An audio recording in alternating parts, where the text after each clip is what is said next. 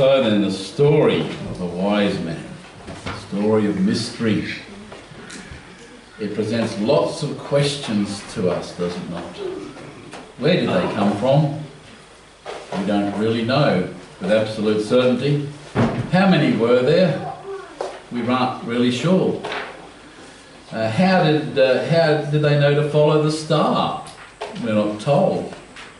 They, they just seem to come mysteriously out of nowhere to pay homage to the newborn king, and then just as mysteriously, they're gone. You hear no more about them. That's it. And yet they play, they play a, an integral part in this whole aspect of, of uh, the, the birth of Christ and thereafter.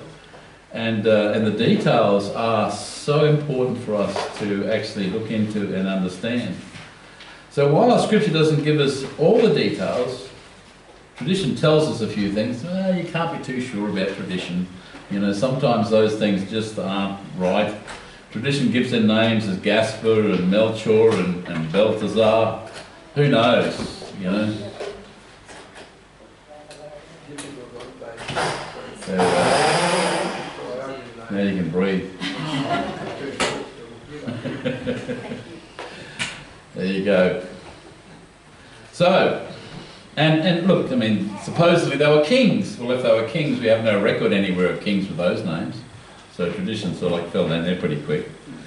So these, these were wise men, by the way. They were wise men, also known as magi, and they were men belonging to various educated classes.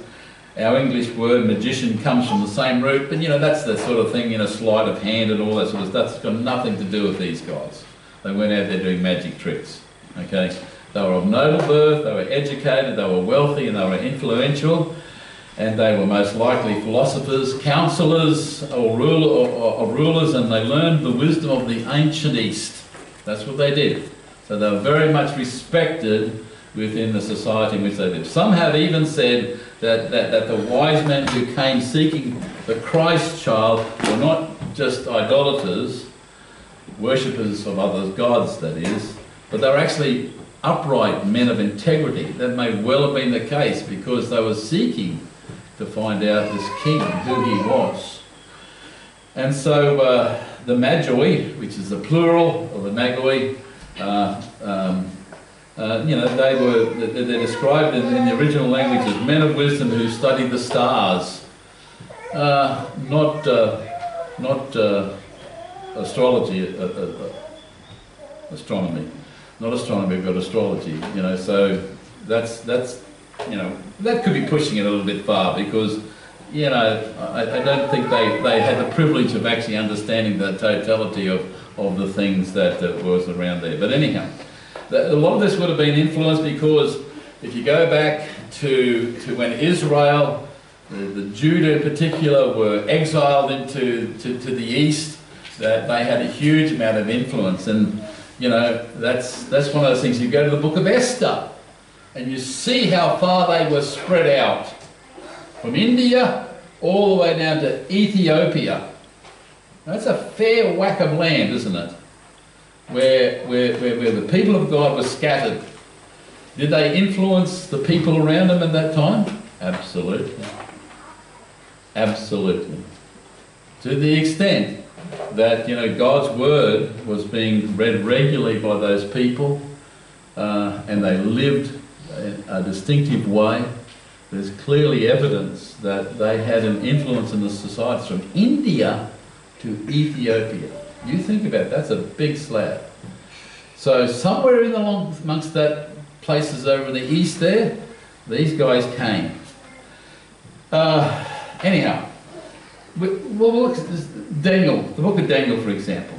We're still in our introduction here, by the way. Um, See, look at we look at Daniel for example. In Daniel chapter two, verses forty-seven to, to forty-eight, the king said to Daniel, "Surely your God." This is after he interpreted the dream. Your God is the God, the God of gods. He is the Lord of kings, the revealer of mysteries. For you are able to reveal this mystery. Then the king placed Daniel in a high position and lavished many gifts on him. He made him the ruler of the entire province of Babylon and placed him in charge. Got this? Placed him in charge of the wise men. Daniel. think he might have said a thing or two to them while he was the guy who was in charge of the wise men. I'm sure he did. Absolutely. Israel were expecting the coming of the Messiah. And these men may well have been expecting it as well.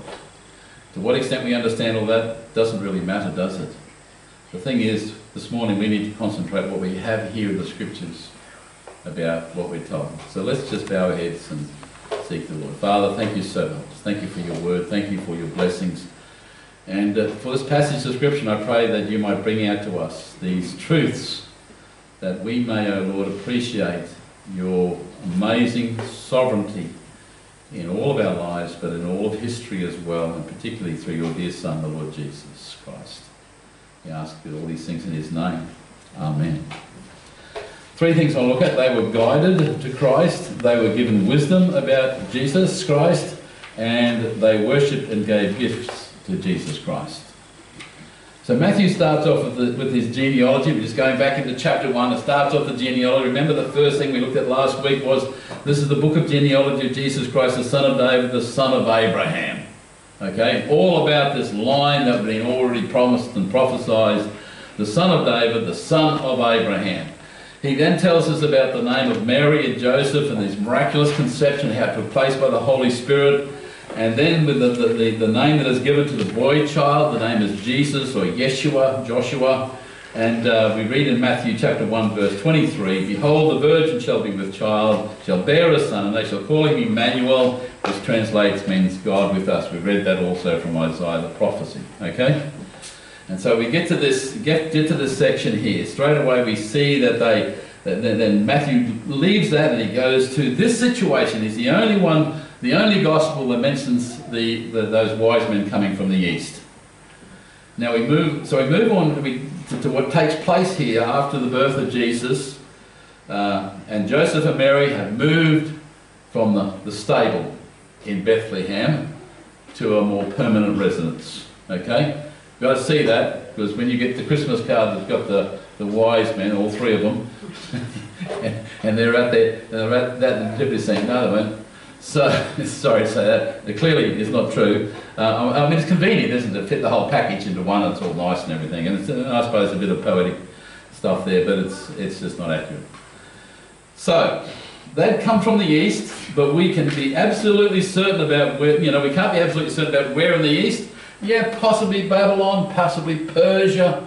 As I said before, you know, we were, we were in the UAE and Oman, you know, where they have so much of this, this uh, you know, myrrh down there. I mean, well, you know, perhaps the gold came up from Yemen, the place of, of Queen, the Queen of Sheba. Uh, do we know? Arabia, you know, Midian, do we know where they came from? Well, we don't, do we? Did they come from different places? You know, did one come from here, this country, that country? They all met up on the way through to Jerusalem, or they come from the same place? Anyhow, so that's the difficulty. After Jesus was born in Bethlehem in Judea, during the time of King Herod, Magi from the east came to Jerusalem. That's what we're told. Not told from where. It's from the east. And so they had come from the east, and uh, you know the fact is is that uh, they, they go first of all to Herod. Well, where else would you go? You'd go to the palace, wouldn't you? If there's to be a king born, that's the logical place to go. Okay, so they they come into Jerusalem and they follow the, the road signs, you know, Herod's palace. No, they, they probably didn't have them. So they would have spoken to the people on the way through.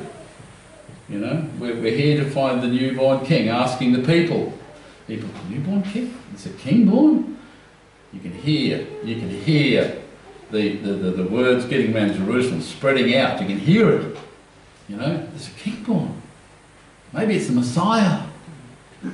Okay, these guys have come because, you know, in relation to this.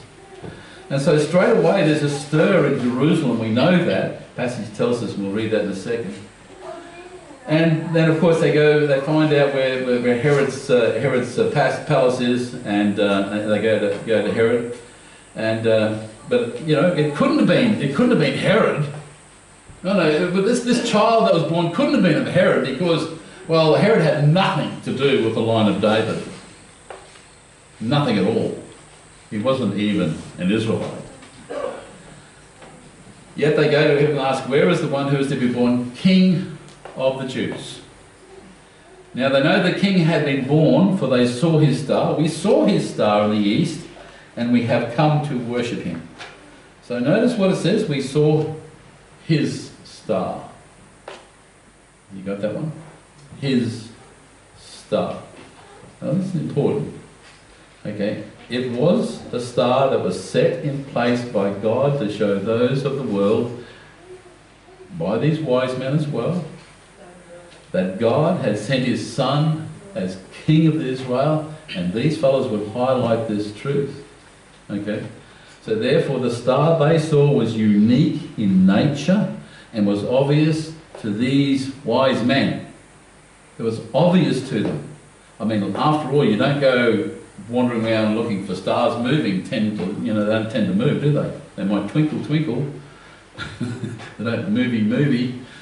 that's, a, that's a bit of a unique sort of a thing, isn't it? You know. So here we go. These guys had noticed this, and obvious, it was obvious to them. They followed it, and it was moving. Now it is at this point that many have presuppositions and conjecture about, well, maybe it was a, maybe it was this, or maybe it was that. And, you know, I had an elder send me an email a few years ago, and uh, and it was about a comet that he'd been reading about because he was pretty much into uh, into science and uh, and uh, all that sort of stuff, and uh, he was just fairly much wrapped and convinced that this is what it was. This is a comet that only appears every couple of thousand years, and and so therefore it must have been must have been this. And I said, I replied and I said, well, the world is always trying to take away from Christ by explaining, trying to explain the, the, you know, trying to explain away the miraculous aspect of, of, of, his birth.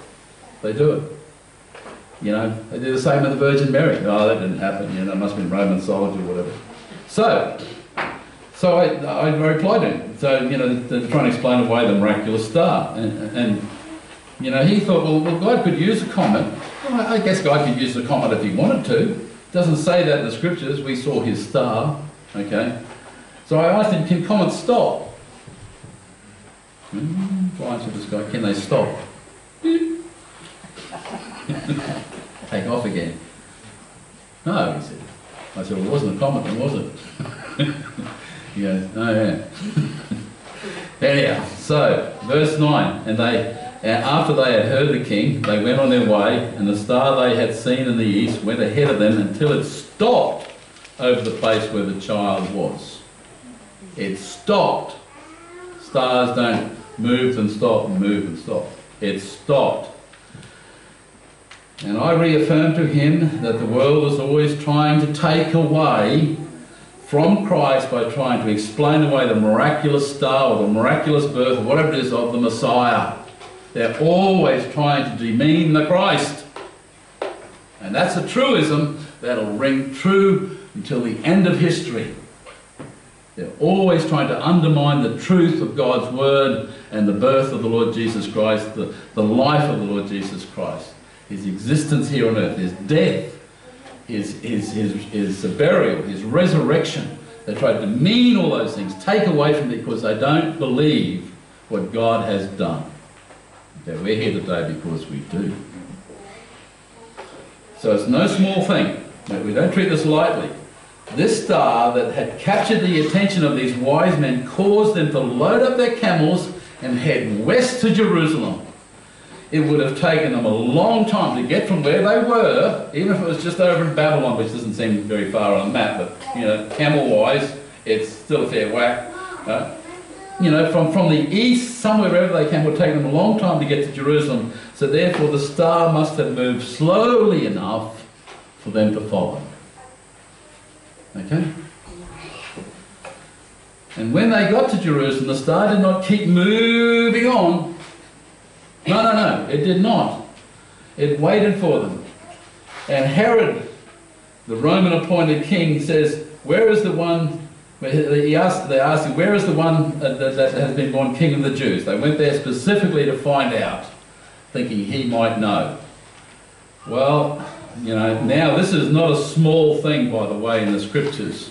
This is so important that this was recorded. We have three foreigners, they slip, they slip, slip into Jerusalem and rock up to the palace and they inquire after a baby, you know, who's the king of the Jews. Really, that's, that's not how it works. You know, three guys on camels wouldn't even be noticed. They wouldn't even be noticed at this time of year when there was a census taking place. No one would even lifted an eyebrow. No, this was a train of camels. A train of camels. And, and, and the fact is that, that, that it wasn't just three men that travelled by themselves. When you think of the logic of that, you know, here they're carrying gold and frankincense and myrrh, they're valuable items. They would get desert whacked, bushwhacked here, but desert whacked.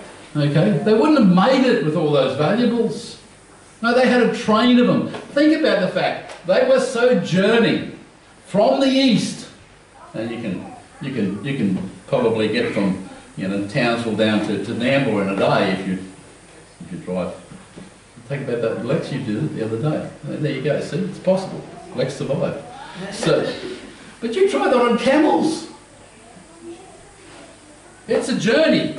You go so far, you unpack, you put up your tents, you know, you cook your meals, you've got to do all that sort of thing, and you bunker down for the night, and the next day you pack up everything, you put them on your camels, and you go forward a few more miles, and that's what happens. It takes a long time. It's called sojourning. Sojourning. It takes a long time. And, and, and you don't do that by yourself. All right? You have, you have a train, you have servants, you have food, you have, you have all those necessary things that you need to do that journey. Okay? So this was not some small thing. Plus the fact they had valuable gifts with them. They probably, you know, went to communities along the way, restocked and all that sort of thing. They knew where they were going. They sojourned and they finally got into Jerusalem. Well, how do we know? Well, the passage tells us, verse 3, when Herod, when King Herod heard this, he was disturbed and all Jerusalem with him. So, so here's all Jerusalem. They've seen this train of events coming into Jerusalem. They've seen it happen. They're what's going on here? As I said, went to three guys slipping into Jerusalem. As these men travel through Jerusalem with their larger coming, people are wondering what this all means. Word starts to spread, and they've come to seek out the newborn king. So Herod gathers his scholars, his chief priests, his scribes to find out where the Messiah king is born. And these ones tell Herod, well, in Bethlehem, Judea. They replied, For this is what the prophet has written. You, Bethlehem, the land of Judea, then of Judah, are by no means least among the rulers of Judah, for out of you will come a ruler who will be the shepherd of my people. Okay? Verses 5 and 6. It is at this point that we are introduced to the diabolical plot that is to follow. We're introduced to that diabolical plot that Herod was scheming. And he was a schemer. Verses 7 and 8. Then Herod called the Magi to himself secretly and found out from them the exact, the exact time the star had appeared. And if we're to go on in the passage, when the slaughter of the innocents, the children is called the slaughter of the innocents, the slaughter of the, of the, of the children up to three years of age. Yeah, so he allowed with it. So you've got an idea of the picture of time here now, how long it took for them to travel from the east over to Jerusalem. It took them a long time. And Herod called them to him, and they found out the exact time the star appeared. He sent them to Bethlehem and said, Now go and make a careful search for the child, and as soon as you find him, report to me, so that I too may worship him. Worship him? Worship him? No. Murder him? Yeah. That's what he meant, wasn't it? That's what he meant. But this child was no ordinary child. He was God's child. And God would not allow any harm to come to him at all. And so then the important thing for us to remember about these wise men is, is that they were moved by God to go and seek out the one to whom he is leading them to as well as for this, for us to realize that they were ready to go. They were more than ready to go. It wasn't just a, a, a, a, thing. Go, oh, look at that, there's a star moving, and all sit around and contemplate. They knew about this somehow beforehand. So God had prepared even these people in the east in relation to the coming of the Messiah.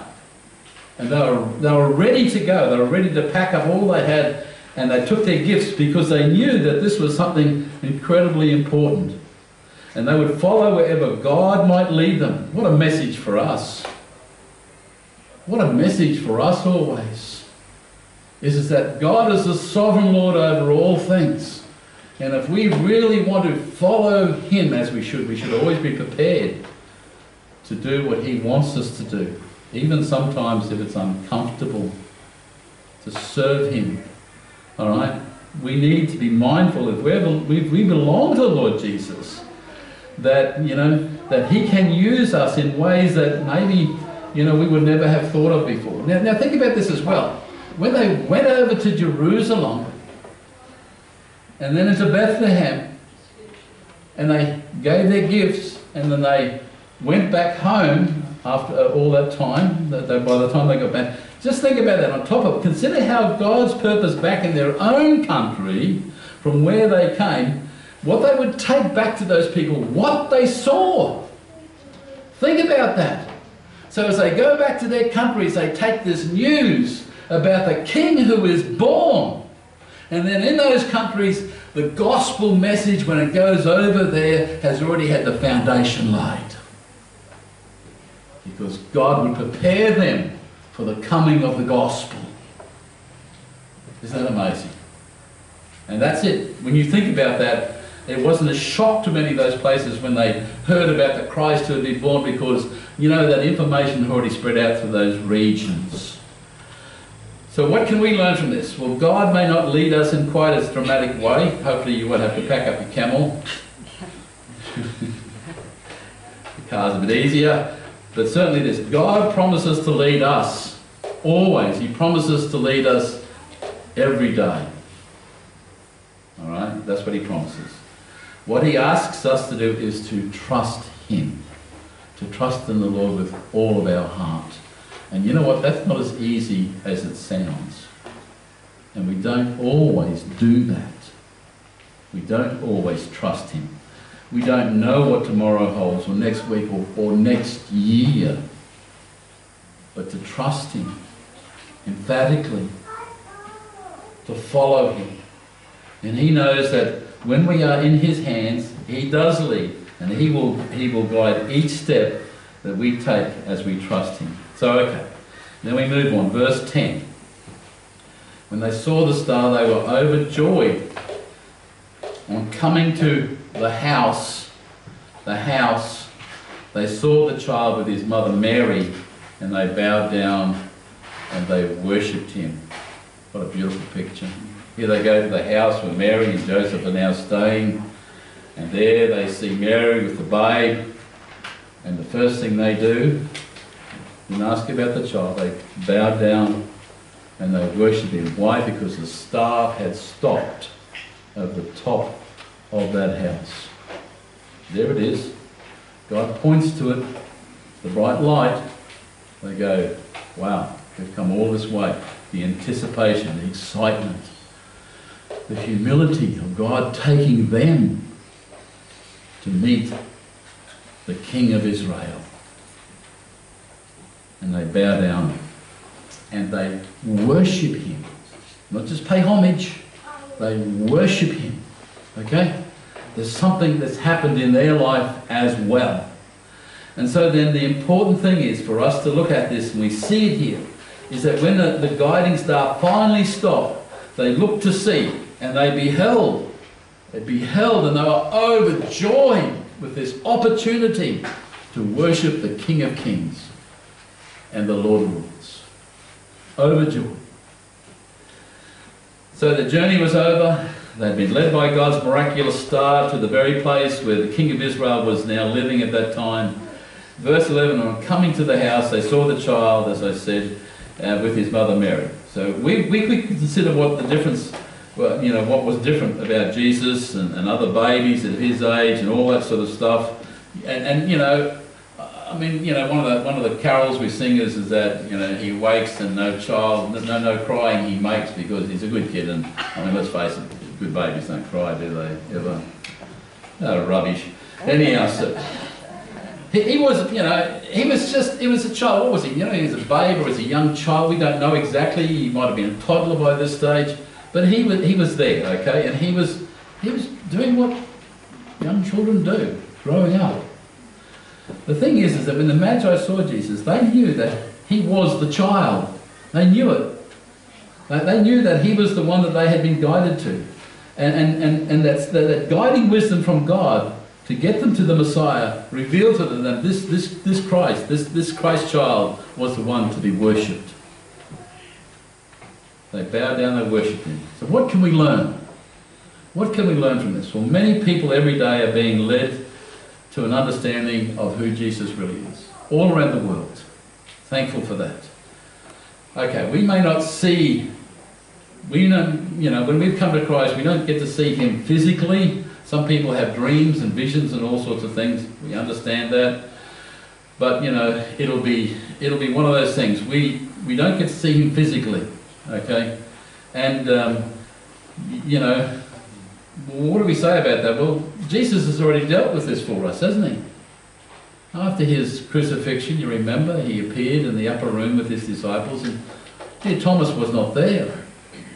So later on, he appears when Thomas is there, and he tells Thomas, you know, put your hand in the scar holes in my side and the hole there. And Thomas, Thomas just fell down before Jesus. He says, My Lord and my God. The words of Jesus ring, ring to us.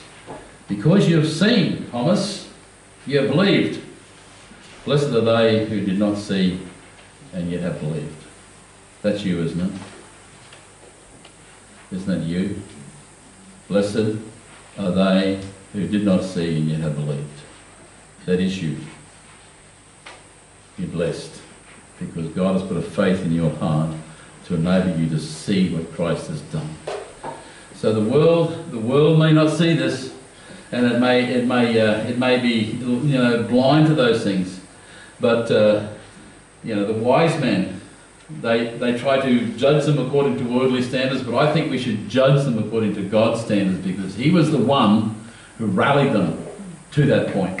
We need to understand from a different perspective. And the other thing is, is that the Bible still says that uh, of the people of the world, as much as they might try and understand these things, that they really are a fool in their heart. You know, that's what, that's what the scripture tells us. That, that, that because they don't believe, you know, the fool has said in his heart, well, there is no God, or they believe, or they have difficulty there. The truly wise men still come seeking the Messiah. The truly wise ones keep seeking the Messiah, the King of Israel, for they are wiser than the men of this world. Blessed are they who did not see yet believed. And then finally, we look at these last verses, a couple last verses here, verses 11 and 12. And uh, so people, people are worshipping lots of different things today, sadly.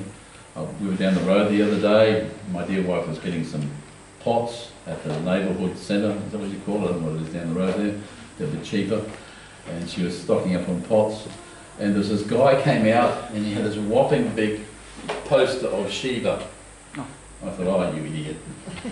I honestly thought that. So, you know, that's the fancy, I'm sorry. But I thought, fancy carrying that thing home with you. That's so sad. So this is your goddess, you're going to stick it up the wall and, uh, it's just, you know, whatever, for whatever reason, you know, it just doesn't seem that the world today is taking the Lord God, seriously, they'll look everywhere else. So, people worship lots of things. Some are worshipping men, others are worshipping things, lots of worshipping going the wrong things. But the wise men came to worship Christ the King, the newborn King. So these wise men were from a pagan world around them, where the stars and the pagan gods were worshipped and they were religious, sincere men of wealth, prestige, power, yet they, got, they, were, they were guided by God to the Christ child and they worshipped him. They worshipped him. And the wise men brought the gifts of gold and frankincense and myrrh. These gifts have given rise to lots of speculation about symbolism of these gifts. Gold represents wealth, obviously. Solomon sat on an ivory throne that was inlaid with gold. Solomon's temple was plated with gold. We read of the golden streets in heaven. And obviously, gold represents wealth for the new king. So, granted that he was born on a lowly estate, okay, he died in our place in the most detestable way. You would kind of think that gold doesn't really fit our king. Yes, it does. You know why? This earth belongs to God, the world, its wealth, and all its people. He did come to the sin cursed world, but he did not come to the sin cursed world to become rich. Sorry for you folk out there who think that that's how it should be. But he didn't come to this world to become rich, he came to this world to give his life as a ransom for many. That's what he came for. To save his people from their sins, as we saw last Sunday night. Then frankincense, which is derived by cutting a slit into the bark of an Arabian tree. The yellow sap is quite an agreeable fragrance. It's hardened and used as incense in worship so these frankincense, the frankincense represents worship, worship of the new king, worship of the Son of God. And myrrh, well, myrrh comes from stunted trees. It's a brown, fragrant uh, perfume. It's used to anoint dead bodies. Dead bodies, yeah, to embalm and preserve them. Myrrh represents the purpose of why Jesus had to be born. His eternal, the eternal Son of God took on the flesh of man so that he could die upon the cross for us this, is, this, is, this is what Christmas is about. The celebration of Christ is about the one who comes to save us. You know, even, even in his birth, Jesus was being set aside for the suffering and the vicarious death that he would die for us, even in his birth. That, that's no small thing. His purpose was to die for us. To die for us wealth, worship, and work, gold, frankincense, and myrrh. These were the gifts that the wise men from the east were led by God, were led by God to bring to him and give to that newborn king of Israel. And they gave these gifts to express their adoration and worship. And I could take it from there and say, well, what gifts can you bring to God? And all this sort of stuff. Now that, that was the point in time when he was recognized and prepared for that whole journey ahead of him down to Egypt. Down into Egypt to escape the tyranny of the murderous Herod. It was at that point, here, that those men from the east prepared him for that and prepared Herod for his murderous task to identify that one who was born in Bethlehem, the only one who survived, the only one who survived of that age group. Jesus was indeed unique from Bethlehem. There was not another one of his age from Bethlehem. Think about it. So, what we can learn in this passage, and I think it is obvious, and that is, is that first of all, worship we, we, we truly should be worshipping Jesus Christ, the Son of God, the Saviour. And then the Bible clearly tells us that Jesus, or Yeshua the Messiah, the Christ, the Son of God, He is the only way. There is no other way. God has never given us another way. He is the only way, the truth and the life that takes us to God in heaven. But we have to trust Him, believe in Him, and humbly bow before Him and worship Him. So when it comes to when it comes to worship Christ Jesus, when we come to worship Him, we come to the King of all kings. We come to the Lord of all lords. And we bow down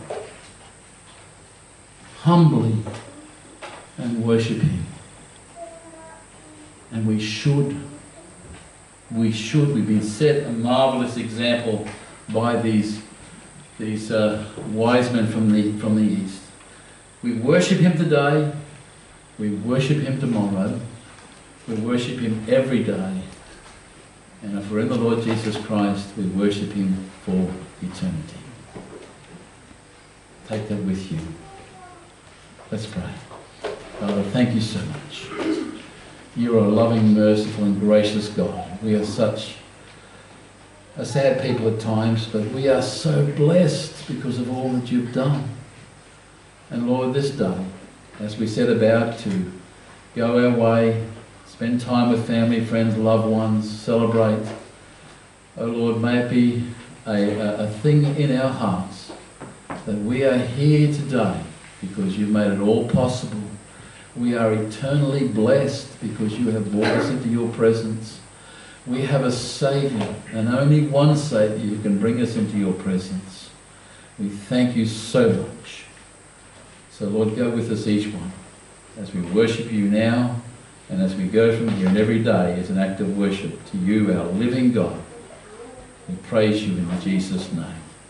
Amen.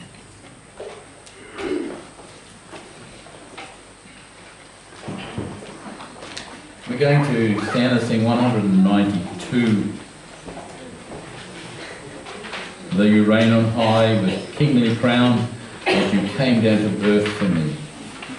Bethlehem's home was found no room for your holy nativity.